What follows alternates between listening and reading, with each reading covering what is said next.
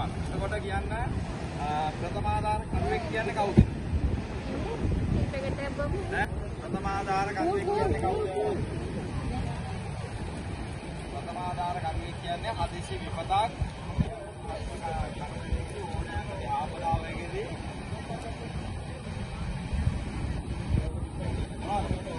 විදි ක්‍රමවේදයන්ට අනුකූලව අපට අවන සම්පත් උපයෝගී කරගෙන හරිද පුහුණු වෛද්‍යවරයෙක් හෝ පුහුණු ප්‍රථම ආධාර කරුවෙකු දරාගෙනකන් අපිට දෙන්න පුළුවන් ප්‍රථම ආධාරය තමයි ප්‍රථම ආධාරය කියන්නේ හරිද එතකොට මේ ප්‍රථම ආධාර දෙන දැනත්තා උසද මිටිද කළුද සුදුද කියන එක අපට අදාළ නෑ අපට අවශ්‍ය වෙන්නේ රෝගීන්ගේ ජීවිත බේරගන්න දැන් මෙතන ඉන්නවා කරන්ට් එක වැටලා කෙනෙක්. කරන්ට් එක වැටලා කෙනෙක් ඉන්නකොට ඔයගොල්ලෝ මොකද කරන්නේ?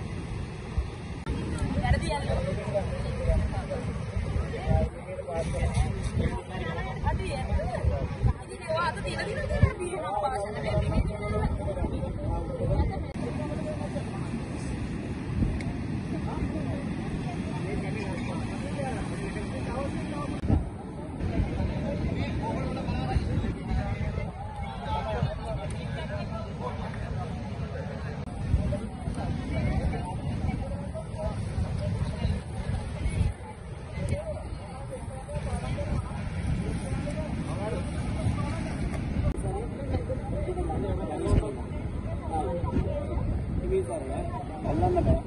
හරි නේද? ඒයි හරිද? ආයි. දැන් ඊගාට මොකද කිව්වේ බෙල්ල කියලා.